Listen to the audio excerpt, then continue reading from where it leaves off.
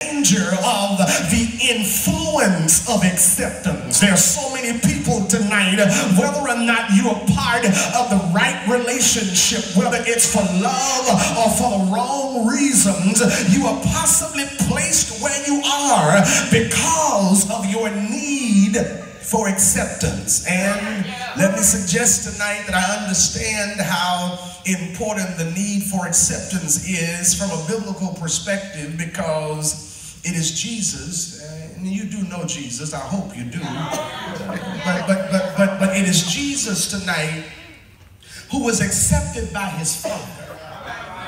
You, you, you, Bible readers remember that he was announced and affirmed. And when he was announced and affirmed, uh, it is the Bible that talks about when Jesus had been baptized by his cousin John. The word of the Lord says that when he came out of the water, and the Bible says that the Holy Spirit got in the form of a dove and descended, and Jesus got on, and God got on heaven's And announced that this is my beloved Son in whom I am well pleased. Theologians concur that this was God's way of accepting and affirming Jesus.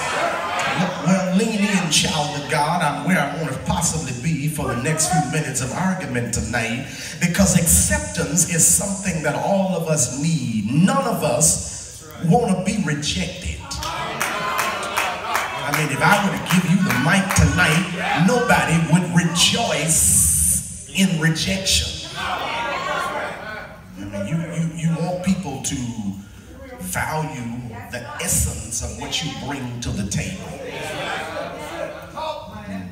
Everybody accepts affirmation. Everybody accepts compliments.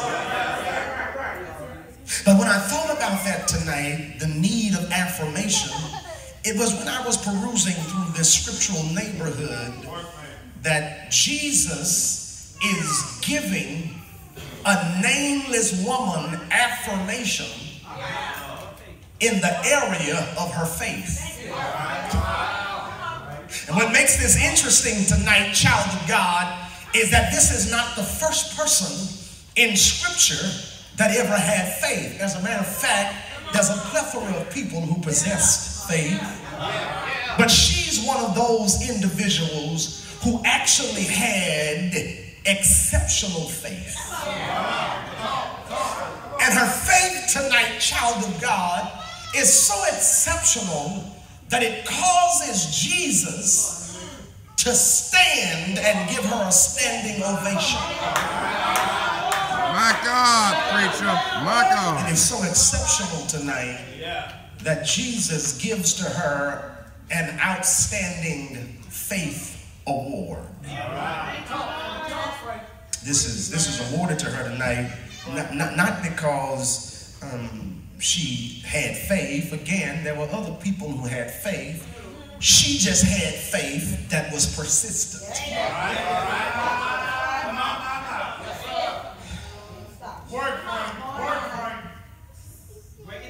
Here's my line of argument tonight. Here's my here's my thesis. Here's my sermon in a sentence. If you don't remember anything else tonight, uh, this is possibly what I'm trying to tell you. That when God is aware of our unceasing desire for his help, that's when he responds.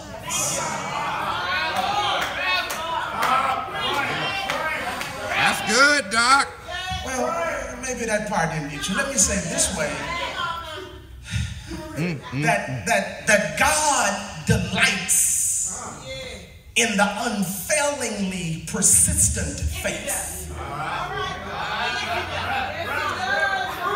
Maybe that's too much to give you my of argument and my sermon in a sentence. So let me just say, uh, God honors the faith that won't quit. Ouch. Okay, you, you, you're not feeling that, so so let me let me try to let me try to walk around this text if you got time. It is the tale of the text tonight. It is somewhere in a house along the coastal region of ancient Phoenicia. There's a woman tonight who frantically weeps in bitterness about the helpless Come state here, of her little girl. And the word of the Lord says tonight that as she watched her daughter suffer, she saw her in such a horrifying state. And, and, and, and the mother, the word of the Lord says, she, she's really uh, in a moment where uh, she cannot watch her daughter suffer as such uh, because she was unable to give her a level of comfort that she needed. Uh, she was unable to free her uh, from uh, this pain that was uh, ailing her and this sickness that had overtaken her because it was beyond human hands. Seemed to be terrifying to this mother because the word of the Lord says that her daughter had been targeted by the power of a demon. Hear me, child of God. There's a vile spiritual force has taken up ruthless dominion over her. Notice the word of the Lord says that she had been severely demon possessed. It- Come on, is Reverend. in- it is in the midst is in the midst of her circumstances that the word of the Lord says this mother while she's watching her daughter in this un uh, in this disheveled I would use this disheveled condition uh, this mother heard some news that possibly gave her some hope. It is rumored tonight that Jesus, the miracle working uh, prophet from Nazareth, had, has entered the town and was in an area where, or close to where she resided. She heard many things about uh, Jesus' ability to heal the various diseases. She heard about the torment and the tormented people and the afflicted people uh, that he healed. And it's possible tonight that curiosity convicted her. Come on. And uh, it is her, it is her curiosity tonight that began to grow. You got time for me to tell you the story. It- Go ahead, Doc. Go it- ahead. it- it is her curiosity tonight that possibly uh, got the best of her and, and, and caused her to believe that if Jesus did that for all of those other people, since he's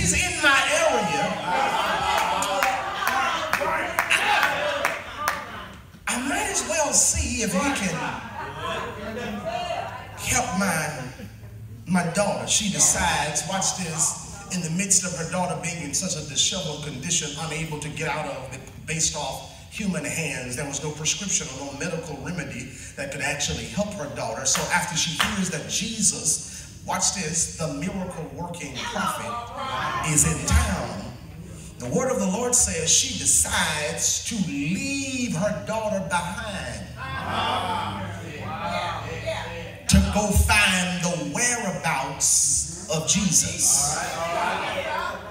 Now, maybe you hadn't read this story from this account, but Mark also mentions this same uh, story in his narrative, or this same narrative in his account, I would say. Uh, in Mark chapter 7, Mark says that Jesus is in a place that's unknown to other people. Jesus did not get on Facebook and tell people where he was going.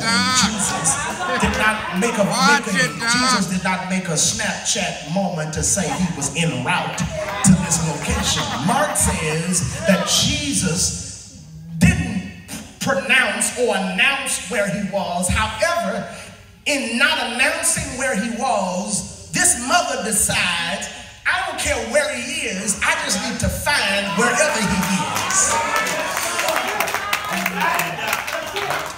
Mark says he's in a house that's hidden, wanting no one.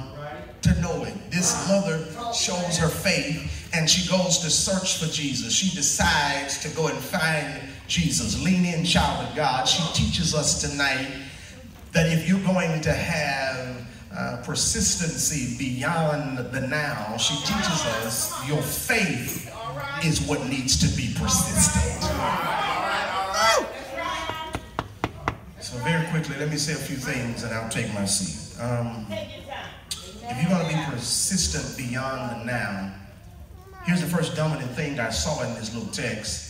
And I wish I had something deeper, but this is all I got. If, if, if you're going to be persistent beyond the now, the first dominant thing you got to do is you got to choose God at the point of your desperation.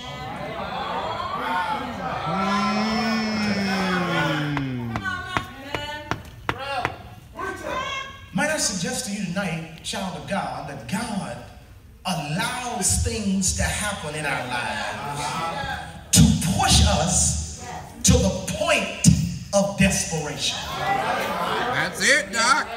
And he pushes us to the point of desperation just to see who we will choose when our situation gets bad. Talk, Doc. And you do understand tonight that, that God is always pleased when you choose him over all other options. Talk, Doc. She's in a desperate moment. And hear me, child of God. Whenever you're in a desperate moment, this is what you have to be okay with tonight. And that is the fact that desperate moments provokes desperate actions. Notice tonight, this woman, let me hurry up because I'm boring somebody with my little script I brought to tonight. This woman tonight the word of the Lord will help us to understand when you do study and further study and intense study of this text tonight. She, when she first hears that Jesus is, is in the area, the Bible would have us to know that she actually hesitated.